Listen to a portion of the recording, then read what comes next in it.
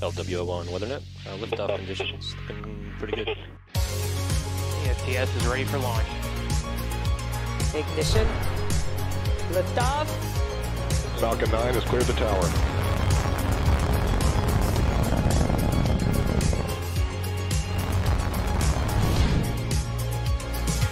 Ten, nine, eight, Side booster ignition. six, five, four, three, two, one.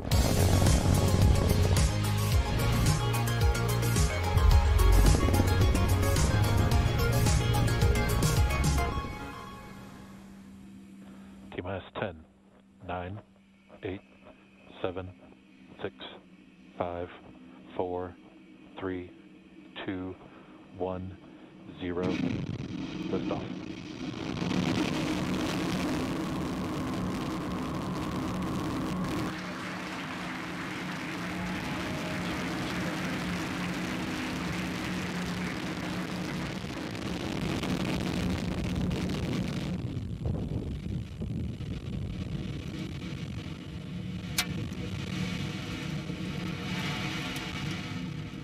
What a beautiful view of Falcon 9 as it successfully lifts off from Pad 4E at Vandenberg Space Force Base, carrying our stack of 51 Starlink satellites to orbit.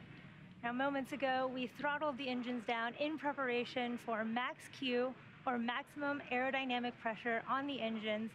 And in a minute, we will have three events happening in back to back in rapid succession. And that's main engine cutoff or MECO. This is where all nine M1D engines will shut off to slow the vehicle down in preparation for stage separation, where the engine chill started. where the first and second stage uh, will separate with the first stage making its way back down to Earth for landing and the second stage continuing on its journey to the third event or second engine startup one and propels the second stage along with the Starlink satellites to orbit. Max Q. We did just pass through max Q. We're about 30 seconds from main engine cutoff, and you can see that beautiful plume of the rocket as it is soaring in the sky.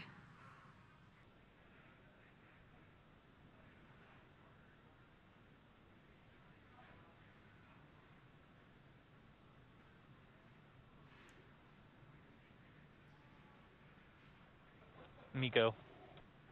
You can see the light Stage from the engine.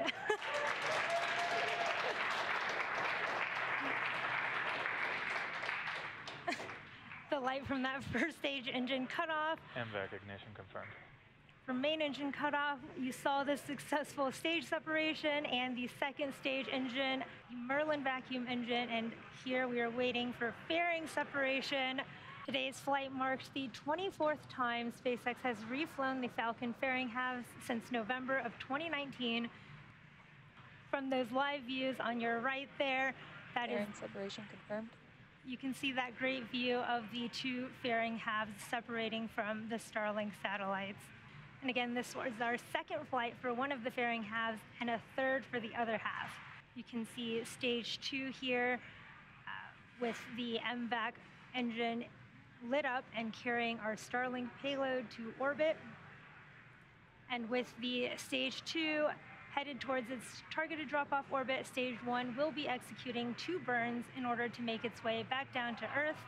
The first is the entry burn, where three of the M1D engines will reignite, and this helps to slow the stage down as it re enters the upper part of the Earth's atmosphere. The second burn is the landing burn, and this is a single engine burn that brings the vehicle speed down rapidly in order to land on the drone ship. If you're just catching up with us, we had a successful launch of Falcon 9 from Vandenberg Space Force Base, Slick 4E, and you're looking at a live view of Falcon 9's second stage as it delivers our Starlink payload to orbit. Both vehicles are following nominal trajectories. Both stage one and stage two are on nominal trajectories right now, with stage one is cruising back to our drone ship. Of course, I still love you in the Atlantic Ocean, in the Pacific Ocean, sorry. And the 100 orbit and- insertion. just missed it, but we did have a successful second engine cutoff one and a confirmation of a good orbit. As a reminder, today's mission marks the 10th flight for this particular booster. the second flight for one fairing half and the third flight for the other half. Reusability is critical to what we do at SpaceX. It allows us to re- refly the most expensive parts of the rocket, which in turn drives down the cost of space access.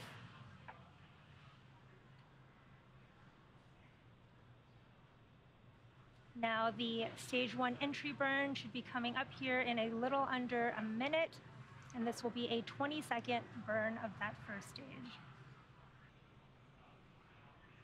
Stage one entry burn startup. What a cool view on your left of the stage one entry burn startup there. This is a 20 second burn of three of the Merlin 1D engines of the first stage.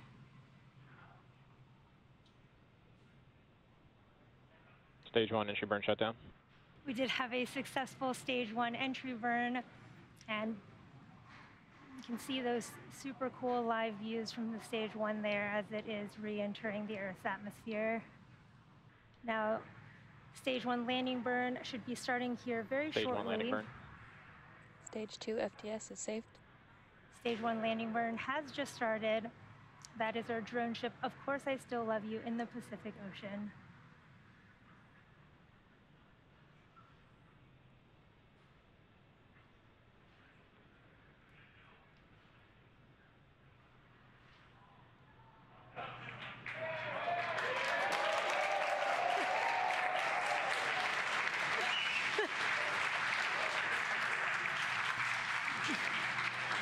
As you can see from that beautiful Stage view, one landing confirmed. up next we will have a coast phase, and we'll see you back here at T plus 44 minutes 30 seconds for our second engine start too.